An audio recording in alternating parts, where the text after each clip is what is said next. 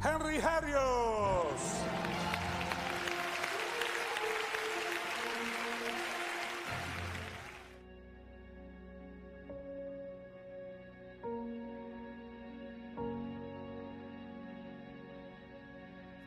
Hi, this is Henry. To me, one of the most powerful tools in Magic is the shell. Things like color changes, productions, finishes are made possible because of the shell. And all my friends know I love Rubik's Cube Magic. I've been doing Cube Magic for years, and a big part in my FISM act is actually using the cube. Designing a shell for the Rubik's Cube is not just a logical step in Magic, but also my dream for many, many years.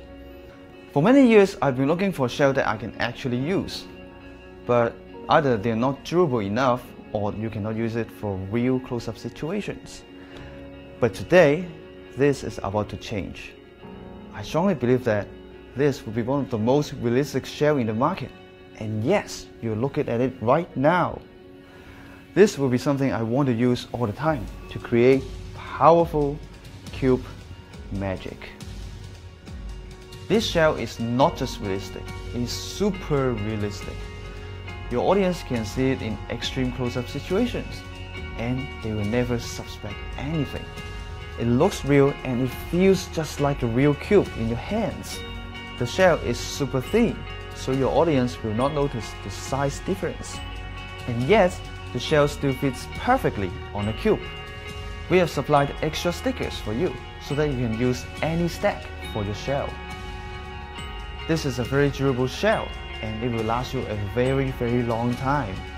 This is my first shell and it's still working fine. With this set, something completely impossible before now becomes possible. Imagine your spectators mixes the cube freely. You put it directly inside the bag and it's magically soft.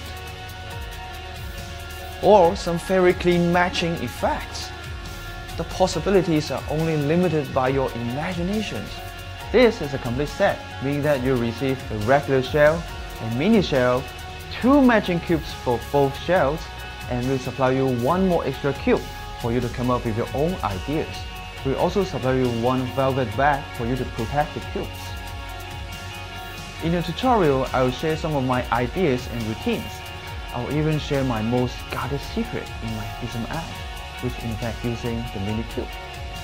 This is not just a trick, but a complete set that will bring you infinite possibilities in Cube Magic.